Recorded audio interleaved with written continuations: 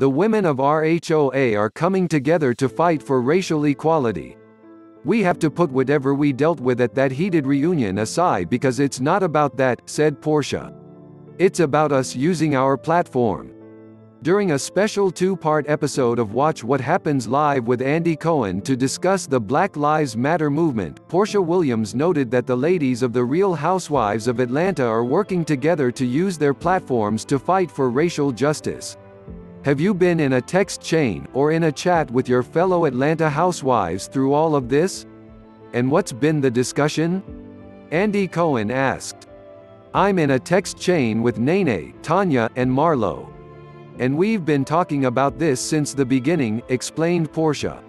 And recently, we ended up reaching out to some of the other girls, and we're trying to come together to make something happen. We have something that we're working on that we will be putting out a little bit soon. We definitely have to talk amongst ourselves and realize it's definitely something that affects all of us as black women, and I mainly, and Nene and all of us and Tanya and Marlo, we definitely feel, and I'm sure Kandi as well, all of them, feel we have to put whatever we dealt with at that heated reunion aside because it's not about that, Porsha continued. It's about us using our platform and not feeling ashamed to use our platform. A lot of people would be like, oh they're clout chasing or this or that. Those are just again things to shame people into not speaking out. I think we would be doing an injustice to our people not to band together and speak out and use our voices for what's going on.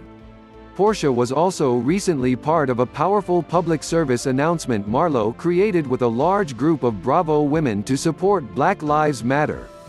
The video features Cynthia Bailey and Mike Hill, Kandi Burruss, Eva Marcille, Tanya Sam, Nene Leakes, and Porsha Williams, the Real Housewives of Potomac's Gizelle Bryant, Monique Samuels, Ashley Darby, Candiace Dillard Bassett, Robin Dixon, Karen Huger, and Wendy Osefo, and Married to Medicine's Dr. Jacqueline Walters and Curtis Berry, Dr. Heavenly Kimes, Dr. Contessa Metcalfe and Dr. Scott Metcalfe, and Buffie Purselle.